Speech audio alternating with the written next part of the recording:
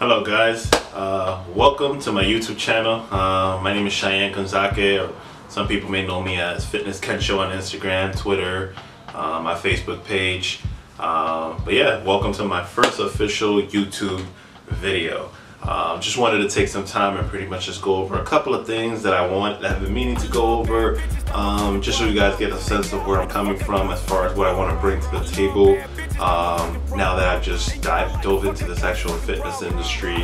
Um, just a little background about me. Um, back in 2012 I was a little bit overweight. Um, I think my heaviest I reached was 294 almost reaching about 300 pounds and I was just disgusted by the way I looked. I didn't feel attractive. Um, pants going shopping was real dismotivating. It's like, damn, like what, what kind of pants actually fit me now? You know, like my size is going up. I think my biggest size in my pants I reached was about a 44. So it was a very tough time, um, tough period of my life that I was just like, man, something has to change. So right off the bat, I was like, man, if, if I gotta change, I gotta put in the work, uh, you know, in the gym. So my whole mentality was not really diet. It was like, I just gotta go to the gym, attack, try to get these gains, um, try to lift as much weight as I can to be able to lose this weight. Um, so that's what I did. You know, I was had a split of uh, I would do uh, chest and arms,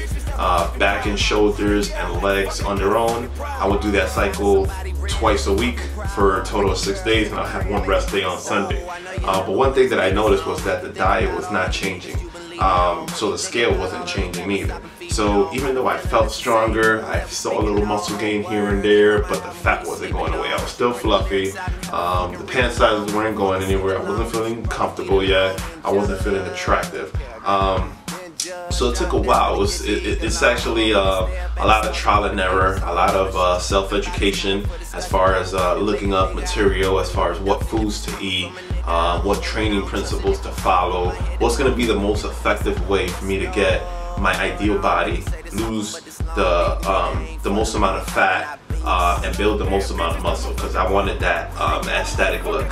I wanted to have that muscular look um, and minimize my fat to as low as I can. Not drastically, but you know, I wanted to be at least below 20%. I believe when I started, I was about 35%. Um, if I get a little more creative with this YouTube video, I'll put um, a little picture up here or something with, uh, you know, my before and after picture. Um, but yeah, uh, I'm currently right now, um, well actually let me backtrack a little bit. Um, I went to school at SUNY College at Buffalo. Shout out to my Buff State peoples. Uh, um, I graduated with a computer information uh, systems degree, which pretty much entails, you know, a lot of programming, web design, um, database administration. So I'm pretty much like an IT geek. So uh, right after college, I did five years in the IT field. Um, and my recent job I had was I was a system analyst and I was a web developer for their for an agency that I worked a nursing agency. Um, that was the point in my life where I figured out, you know what, um, this is not for me. Um, I would always be unhappy. Like I don't know if you guys ever had that situation where you get to um, you get to work and you're just thinking like, damn, uh, maybe I should have not gone to work today, or maybe I should call out, or just making any type of excuse not to go into work because you just hate it.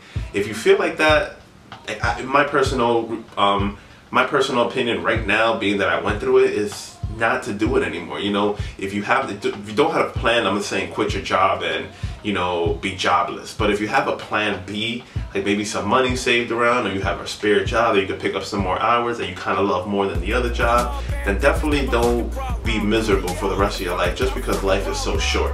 Um, so that happened about um, that was at in two, 2014. So this past year.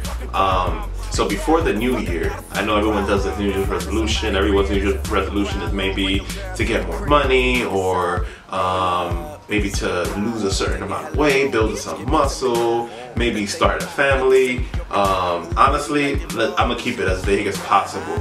My New Year's resolution was to do something that was gonna make me happy and I was gonna help other people.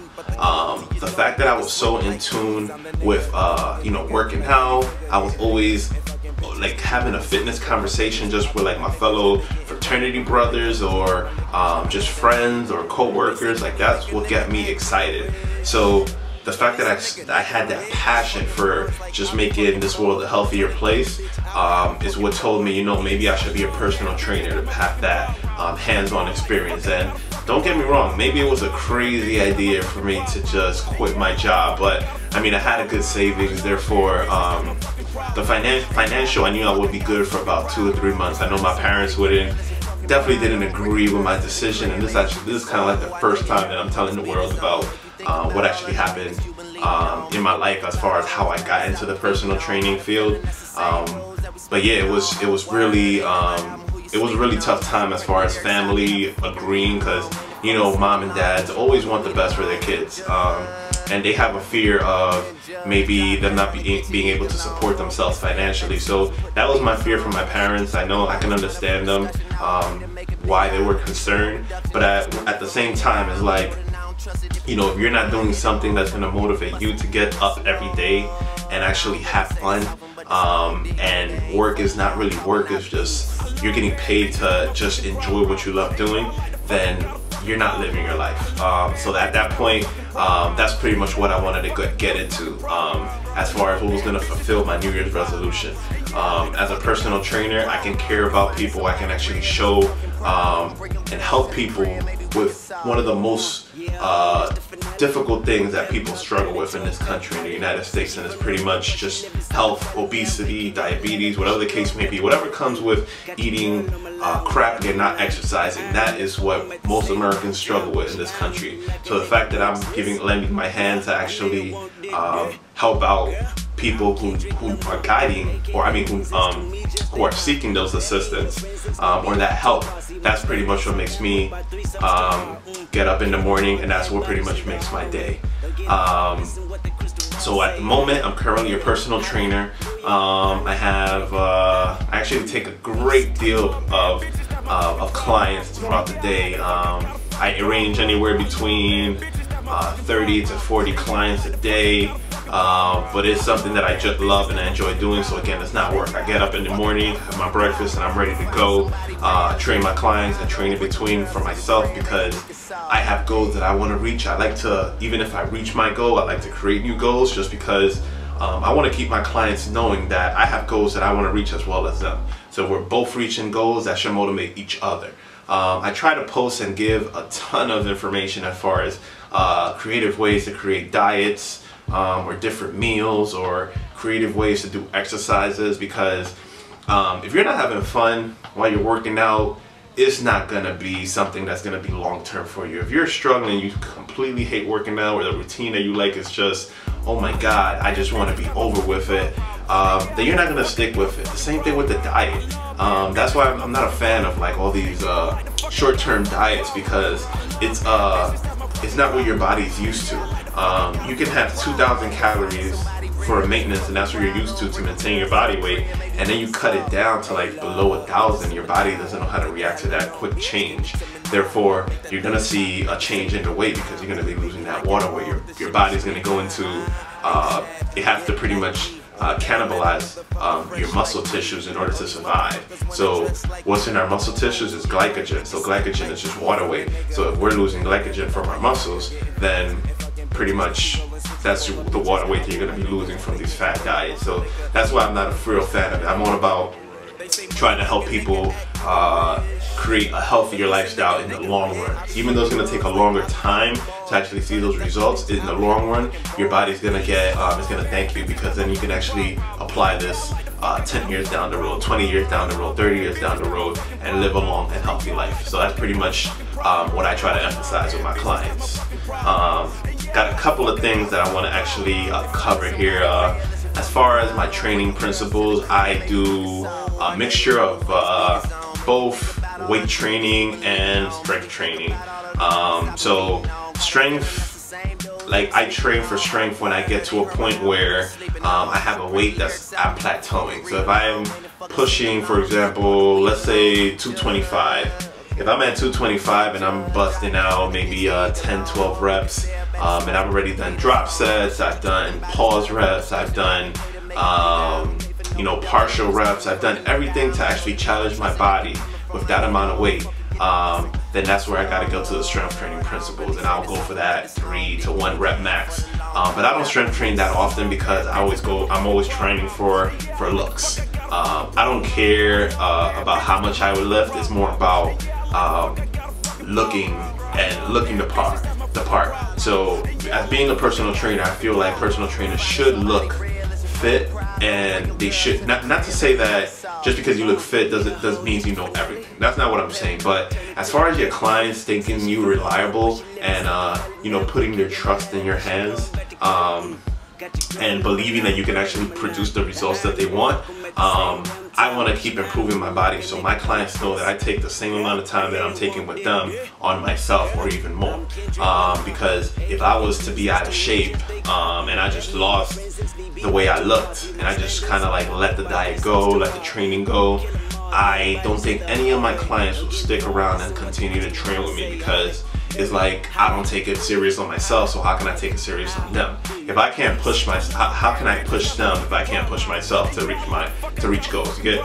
So that's kind of like the thing that I want, that I kind of live by. I need to push myself so that my clients know that I know that, that I can push them even further to reach their goals when they don't even want to, or they don't, or, or they doubt themselves that they can even get someplace.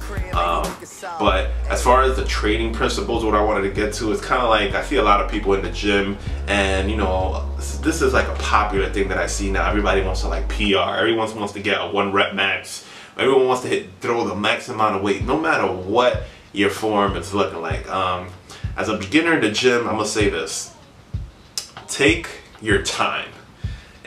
I'm gonna just, that, that's all I wanna say. Take your time. So you have someone who's about, what is it, 30% body fat, 220, 280 um, weight. Um, pretty much your goal should be, if your goal is to lose weight and burn fat, you want to stick to high repetitions. A moderate weight that's to challenge you, but high repetitions. So you want to burn that fat off. Um, I have a, um, I see so many people in the gym who are overweight and they're telling me, you know, they want to lose some pounds, but they're focused on PR and they're just focused on just throwing up as much weight as they can for one rep, one rep max. And I mean, is that impressive? Yes, that's cool. Um, but strength is one of those things that you can't see. Um, there's one guy at the gym that I see all the time. He always says what up to me, and he always says, "Hey, yeah, you know that I'm getting huge." And um, he can lift more than me. I'll put it this way: he doesn't look it, but he can lift more than me because he trains for strength. And if you see him and you see me, you'll be like, "Man, I can outbench him any day." But that's not the case. Um, so just pick and choose when you need to strength train and when you when you don't. Um, typically I strength train when I plateau. So if I plateau like to a certain point where I've done everything, anything that to change to keep producing uh, muscle gains, um, then that's when I'll go to strength training in order to push um, the same training principles but with a heavier weight, if that makes any sense. So that's that's the, that's the um, the training principles that I live by. Um, last thing I wanted to cover here on this YouTube video is like a uh, way of thinking of food. So um, food is one of those things uh, that people uh, don't have general knowledge about. I know they have uh, some nutrition classes in high school. I believe I took one. Um, I took a couple in college, but um, they weren't telling me like what foods to eat. They were just telling me like what's what, like what's the carb, what's the protein, and what's the fat. But you know, certain people, even to this day, I tell them, oh yeah, you know, just don't eat any carbs after this amount of time. And it's like, they'll ask me what is a carb, you know? So at that point, it's like, I feel like people need to know more about nutrition, but um, anyone who is having trouble because, um, actually think of it like this. I can, I tell my clients this all the time, I can kill you for half an hour, an hour, with purpose, and you could be drenched in sweat, you could be sore the next day, um, but you're on your own for that, the other 23 hours, or the other 23 hours and half an hour and 30 minutes um, where you're free to eat whatever you want and I'm not there to tell you or guide you or tell you to, to tell you what not what to eat and what not to eat. You kind of have to be your own person on that. Like I can tell you what foods to avoid, but at the end of the day, you're the one that's making those decisions. Um, so with that being said, it's like I want to tell people that you want to think of um, food as fuel. Uh, it's just a, a, way to fuel your body. Um, so me personally, I don't, I try to stay away from sweets. Um, at least at least six times a week. Uh, I cook with no close to no sodium, um, no salt at all, uh, at least six times a week, and I enjoy my one weekly cheat meal. And uh, you won't know, like you, you need to understand how amazing um, a cheat meal feels or tastes when, once you haven't had it in a while. Think of it as a, you know, sexual intercourse. It, has been a while. Let's say we've all had that that that time. You know, it's been a while. You haven't had you haven't had uh, been intimate with anybody, or you haven't had um, you know intercourse with anyone. Anyone.